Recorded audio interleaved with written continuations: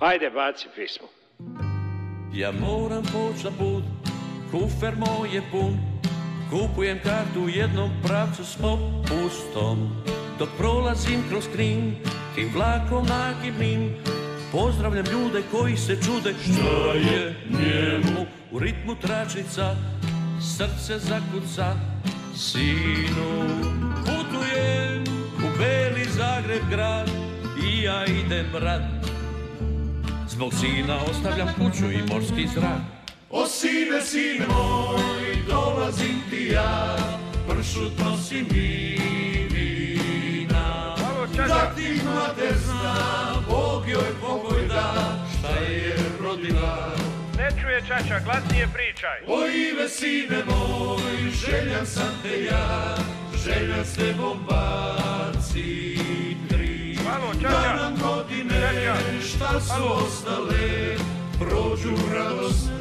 Ne čujem. Alo, čača, pa je nazovi drugi put. Ajmo.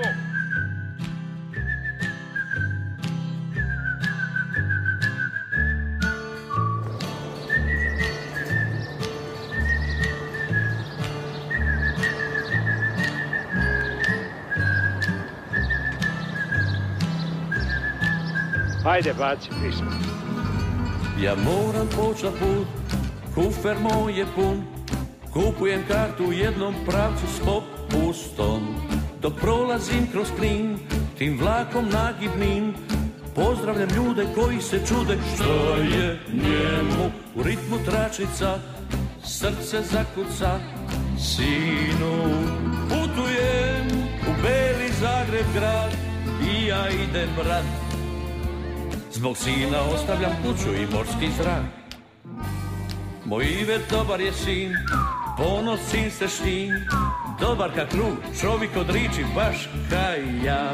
Za deset godina on je svršija Zaličiti krave i mačke i pase veterinu. Na telefon kad zovem pita Šta je čača?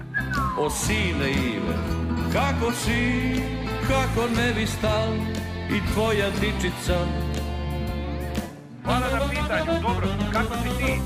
O sine, sine moj, dolazim ti ja, pršut nosim i vina. Da ti mater zna, Bog joj pokoj da, šta je rodila. Ne čuje čača, glasnije pričaj. O Ive, sine moj, željan sam te ja, željan s tebom baci tri. Da nam godine, šta su ostale, prođu radosne. Ne čujem. Alo, čača, pa je nazovi drugi put. Ajmo.